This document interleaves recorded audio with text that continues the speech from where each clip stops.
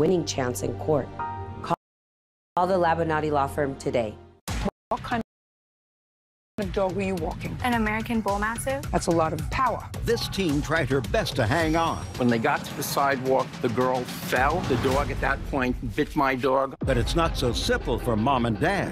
But, Your Honor, if I may say, though... Don't try to make excuses. That's the wrong thing to do. Your Honor, what you're losing is the character of our plaintiff. He has a flawed character as a dog owner. Judge Judy. You are about to enter the courtroom of Judge Judith Sheindlin.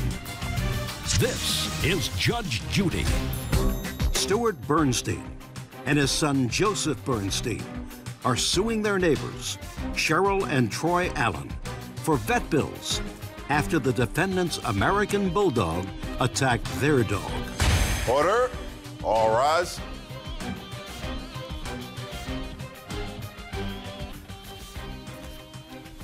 Yeah, it's case number 570 on the count in the matter of Bernstein versus Allen. Thank you. You're welcome, Judge. Parties have been sworn in. You may be seated. Ladies, have a seat. Who was walking the dog? I was. Were you there? Not for the walking of the dog. Then it's not Yeah. particularly relevant. Why don't you have a seat? Mr. Bernstein, you were walking a dog. Yes, I was. I think you said it was your wife's service dog. Correct.